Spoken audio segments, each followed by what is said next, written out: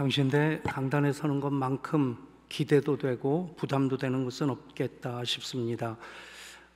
이효리가 국민대 졸업식 축사에 가서 치티치티 뱅뱅 노래 한 곡 부르고 내려왔는데 제가 그 정도 실력이 된다면 노래 한 곡 하는 것으로 대신하고 싶은 그런 마음입니다.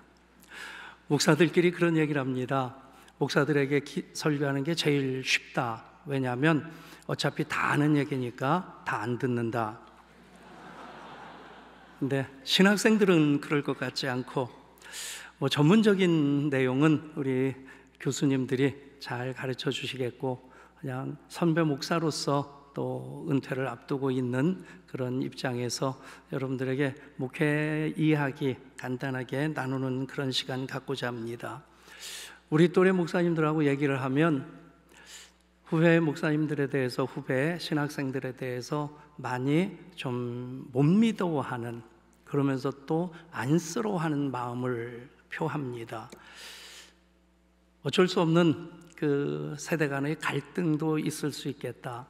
요즘 세대는 두 세대가 존재한다고 하죠. 꼰대 세대하고 어, MZ 세대하고 꼰대 세대의 특징은 아, 이, 예, 아무튼 그런데 예. 2019년부터 3년 동안 목회 실습 그 강의를 하게 되면서 어, 우리 후배 학생들에 대한 이해가 어, 안쓰러움은 훨씬 더 커지고 또 어, 오히려 못 믿어움은 많이 줄어들면서 참 하나님께서 필요한 사람들은 필요한 때 보내주셨다 하는 그런 마음을 갖게 되었습니다. 오늘 시편의 말씀은 성전에서 예배하는 자들, 예배를 위해 섬기는 레위인들과 또 순례자들이 함께 교창하면서 불렀던 그런 찬양입니다. 그 예배자들을 향해서 하나님께서는 자기를 위하여 특별한 소유로 삼으신 자들이다. 그렇게 애정을 표현하고 있습니다. 그렇습니다. 하나님께서 예배자를 얼마나 소중히 여기시는지 알 수 있고 그래서 예배자인 우리들은 하나님의 특별한 소유로 이 자리에 와 있습니다. 예배자로 예배를 잘 드렸다 하는 그 기준 몇 가지가 있겠다 싶은데 은혜를 받았다든가 감동이 있었다든가 순종과 헌신의 결단이 있다든가 그 하나하나가 예배를 잘 드린 기준이 될 수 있겠습니다만은 정말 그 중에 가장 중요한 것으로서 예배가 더 소중해지는 것 예배 없이 나 못 삽니다 하는 그 고백이 있다면 예배를 정말 잘 드린 예배라 생각합니다. 저는 예배자로서의 예배에 대한 그 소중한 고백, 그것이 지금까지 목회를 이어오게 한 가장 큰 힘이었다 생각합니다.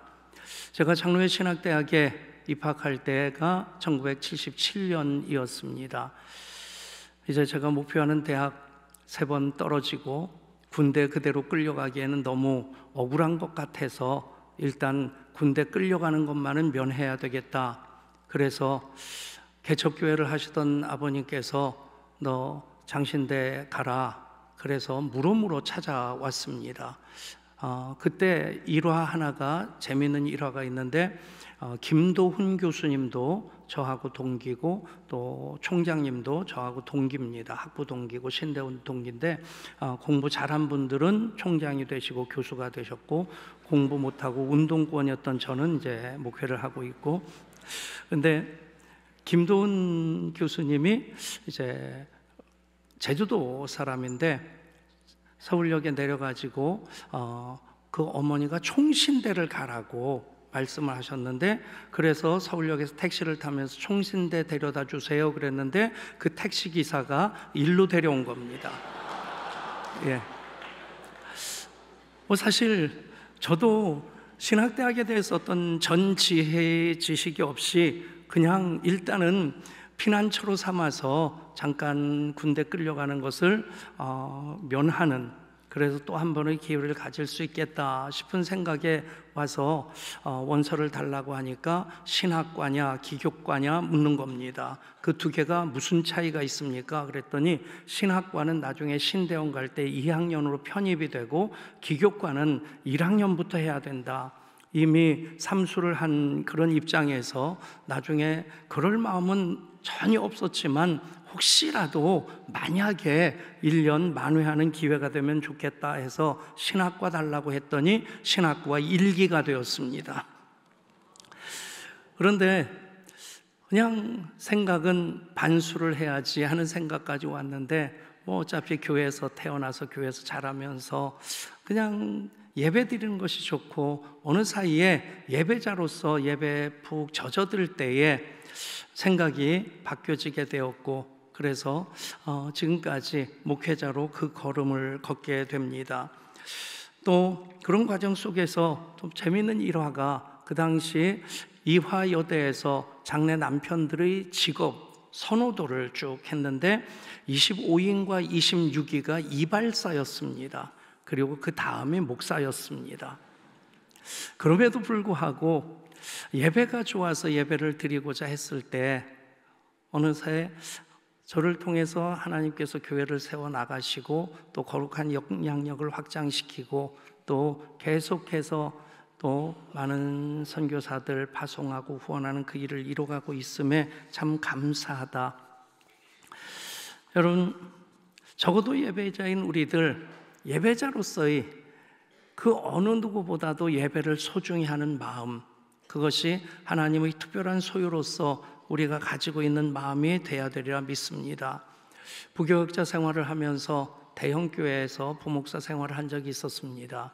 제가 담당한 교구가 700세대였고 거기다가 교회 행정 전체를 대내외적인 업무를 감당해야 되는데 어, 30년도 훨씬 전인데 40억 정도의 재정을 제가 최종 결제를 하면서 집행을 하고 또 대외 업무도 다 감당을 하면서 그렇게 그 교회 4년 있는 동안 2년 동안을 그 행정을 담당할 때 전혀 월요일도 없이 공휴일도 없이 그렇게 매일 출근해서 그 일을 했었습니다. 거기다가 다른 교구 목사님들은 맡지 않았던 대학부를 또 맡게 되었고 거기다가 또 하나 금요 기도회 찬양 인도까지 맡아서 월급은 똑같이 받으면서 일은 남들보다 두 배나 한다. 참 많이 힘들었었는데 그때 고백이 딱 한 가지였습니다. 예배 때문에 내가 산다. 대학부 예배를 준비하고 설교하면서 언제나 저에게 주시는 말씀으로서 듣게 되었고 또 찬양을 인도하면서 그 찬양을 통해서 기름 부심을 받으면서 예배가 정말 나에게 소중한 정도가 아니라 예배 없이는 나 못 산다. 그러다가 담임 목사로 부임을 했습니다. 전통적인 교회 갔는데 복음 성가를 주일날 부르는 것이 시비거리가 되는 그래서 그것 때문에 재직회에서 가타부타 논쟁이 일어나고 담임 목사가 그것에 대해서 정리를 해 주어도 여전히 그것에 대해서 흔쾌하지 않는 그런 분위기 속에서 그 얘기를 다 하려고 하면 여러분 오후에 수업을 할 수 없으니까 어, 그런데 그런 가운데 계속 제 마음에 켜켜이 쌓여지는 것이 마음껏 예배하고 싶다. 그 생각이 꽉 찼을 때 저는 목사가 안 되려고도 했었지만 목사가 된 다음에 당당하게 내 사전에 개척은 없다고 그렇게 얘기를 했었습니다. 그런데 하나님께서 개척으로 또 몰아가신 이유가 무엇일까 생각해 보니까 예배에 대한 마음껏 예배하고 싶은 마음이 꽉 찼을 때 하나님께서 개척하게 해주셨습니다. 개척을 하면서 참 그동안 신학 훈련을 받고 그리고 부목사로 어시스턴트의 역할을 감당했지만 이제 개척을 하면서 제 비전을 마음껏 펼쳐낼 수 있게 되었을 때 저는 첫 번째 우선순위를 예배에 두었습니다. 예배에 목숨을 걸고 단 한 사람이라도 은혜 받지 못하고 가는 은혜 받지 않고 가는 그런 교인이 없기를 바라는 마음으로 예배를 준비하고 예배를 인도하고 그리고 같이 예배를 드릴 때에 정말 그 모든 예배들마다 저는 조심스럽지만 이 중에서 가장 은혜를 받은 사람이 나다 하는 그런 고백을 할 수 있었고 그리고 또 그 예배를 예배되게 하기 위해서 나름대로 많은 어떤 시도들을 했었습니다. 제가 많은 혜택을 받았다 생각하는 것, 부모님의 신앙의 유산을 이어받은 것도 그렇겠거니와 우리 통합측 교단에 제가 원해서 그 선택한 것은 아니지만 그냥 자연스럽게 선택이 되었고 그래서 우리 통합적 교단에 속한 목사라고 하는 것 또 장로회 신학대학교에서 또 신학훈련을 받게 되었던 것 그것이 제가 받았던 참 큰 혜택이고 은혜라는 생각을 합니다. 학부도 장신대를 나오고 신대원도 장신대를 나오면서 신대원 졸업식을 이 미사, 미스바 광장에서 그때 했었습니다. 어떤 이유였었는지 광장에서 졸업식을 하는데 문득 신대원을 졸업하는 졸업생으로서 그동안을 쭉 반추하면서 질문을 스스로에게 던졌습니다. 신학이 무엇이지? 한참을 생각해도 답이 안 나왔습니다. 옆에 있는 친구에게 야, 신학이 뭐냐? 그랬더니 이 친구도 잠시 고민하는 표정을 짓더니 모르겠는데 그런데 그 친구도 저도 목회하는데 전혀 지장이 없습니다. 그 얘기는 신학에 대해서 뭐 이렇게 학문적인 정의를 하지 못하는 그런 상황이 있다 할지라도 그 신학 유산이 또 장로의 신학대학교의 어떤 신학이 DNA로 자리 잡아 있기 때문이다 하는 그런 얘기를 감히 드릴 수 있게 됩니다. 여러분, 사실 우리가 목회하는 목회 환경 만만하지 않습니다. 어떤 때는 선배 목사님들 보면 참 저분들 부럽다. 편하게 목회하셨겠다. 그런데 제가 목회를 하면서 그런 걱정을 아버님에게 많이 들었습니다. 그렇게 힘들게 해야 되느냐. 그런데 그러지 않고는 그 어려운 목회 환경, 떨치고 나가기에는 참 힘들겠다, 어렵겠다 해서 나름대로 최선의 열심으로 한다고 했었습니다. 근데 또 여러분들이 목회 현장으로 나가는 그 시대는 어쩌면 인류 역사 속에서 산업 농업 혁명이 있었고 산업 혁명이 있었고 정보 혁명이 있었고 이제는 또 AI 혁명이라고 하는 그 시대가 이미 열렸고 이 변화가 얼마나 급격하게 변화되어질지에 대해서는 전문가들조차도 예측하지 못하는 상황입니다. 예나 지금이나 예수님께서는 똑같은 말씀을 하신다 생각합니다. 파송되어지는 그 제자들을 향해서 너희를 보냄이 이리 가운데 양을 보냄과 같도다. 그러면서 하신 말씀이 무엇입니까? 너희는 뱀같이 지혜롭고 비둘기같이 순결하라 말씀하십니다. 어쩌면 목회자로 준비하고 있는 여러분들이나 또 현장에서 목회하고 있는 여러분들의 선배들이나 뱀같이 지혜로운 부분에 있어서는 별로 고민을 하지 않는다는 생각이 들 때가 있습니다. 그 부분도 우리가 치열하게 노력하고 정말 세상의 흐름 속에서 텍스트는 바뀌지 않지만 context가 바뀌어지는데 뱀처럼 지혜롭게 이 변화되는 목회 환경 속에서 어떻게 거룩한 영향력을 끼치고 또 세상을 선도할 수 있을까에 대해서 끊임없이 우리는 거룩한 몸부림을 해야 된다 믿습니다. 그럼에도 포기할 수 없는 것, 뱀같이 지혜로운 것의 방향을 잃지 않게 하는 것이 비둘기같이 순결한 예배자가 되는 것입니다. 우리 교인들에게 가장 많이 얘기하는 표현 중에 하나가 예수 믿는 것의 목적은 잘 살기 위한 것이 아니라 제대로 살기 위한 것이다. 여러분, 우리가 방향을 잃지 않고 예배자로서 하나님 앞에서 순결함으로 정말 예배 때문에 내가 산다는 그 고백을 하게 된다면 하나님께서 또 진리의 영이신 성령님으로 말미암아 뱀같이 지혜롭게 하실 것에 대해서 우리는 계속해서 열린 마음으로 기대하면서 한 걸음 한 걸음 옮겨가야 될 줄 믿습니다.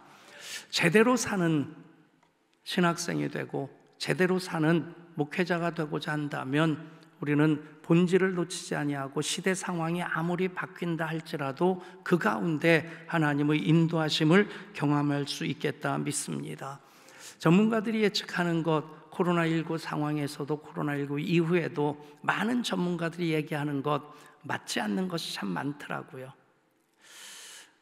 그만큼 급변하는 전문가들도 예측하기 어려운 그런 시대 속에서 우리가 살아가고 있습니다. 몇 달 전에 우리 교회 신문 칼럼에 이런 제목으로 글을 썼었습니다. 어려운 세상 쉽게 사는 방법. 그러면서 스피노자 이야기로 알려져 있지만 실제로는 루터 이야기라고 하죠. 내일 지구의 종말이 올지라도 나는 오늘 한 그루의 사과나무를 심겠다. 그것이 급변한 시대 속에 내일을 예측하기 어려운 상황이라 할지라도 오늘 내가 사과나무 한 그루를 심는 그런 성실함이 정직함이 있다면 우리는 내일을 제대로 준비한 자가 될 수 있겠다 싶습니다. 여러분들 오늘의 신학 훈련이 오늘의 예배가 오늘 심는 한 그루의 사과나무가 되게 하실 수 있기를 바랍니다. 또 제가 좋아하는 말씀 경구 하나를 나눈다면 링컨의 얘기입니다. 나는 천천히 걷는 사람입니다. 그러나 뒤로 가지는 않습니다. 하나님 예배자인 우리들을 하나님의 특별한 소유로 야곱 곧 이스라엘을 여호와께서 자기를 위하여 특별한 소유로 삼으셨음이로다. 예배자로서의 그 자긍심 그것 가지고 오늘 한 그루의 사과나무를 심는 마음으로 신학 훈련을 하고 또 하나님께서 예배자로 나를 부르셨다고 하는 그 당당함으로 예배를 소중히 여기며 예배할 때 하나님 우리를 부르셔서 하나님 뜻 이 땅에 펼쳐나가심에 우리는 여전히 부족하지만 많이 부끄럽지만 나를 통해서 이루실 하나님 일들에 대해 기대할 수 있겠고 하나님 우리를 바라보시며 흐뭇한 미소 지으시리라 믿습니다. 여러분 한 분 한 분을 우리 주님 이름으로 사랑하고 축복합니다. 기도합니다. 하나님 신학 훈련을 받음으로 한국 교회의 미래를 짊어지고 나가고자 하는 하나님의 부름 앞에 순종함으로 선 하나님의 아들 딸들 이 시간 예배자로 하나님 앞에 있습니다. 예배자이기에 하나님 특별한 소유자로 삼으셨음에 우리가 당당할 때에 우리는 뱀처럼 지혜로우라 하신 말씀으로 이 세상 어떻게 섬길고 이끌고 나갈 수 있을까에 대해서 거룩한 몸부림도 이어가게 될 줄 믿습니다. 전문가들도 예측하기 어려운 급변하는 시대 속에서 우리가 많은 질문을 하게 됩니다. 그 어떤 것보다도 먼저 오늘 우리가 심는 한 그루 사과나무 그것이 오늘의 예배가 되게 하시고 오늘의 신학 훈련이 되게 하셔서 내일 어떻게 변화된다 할지라도 그 가운데 부르심 앞에 부르심을 이어 나가는 우리 모든 예배자들 또 신학생들 되게 하여 주옵소서. 예배자인 우리에게 하나님 말씀하십니다. 야곱 곧 이스라엘을 여호와께서 자기를 위하여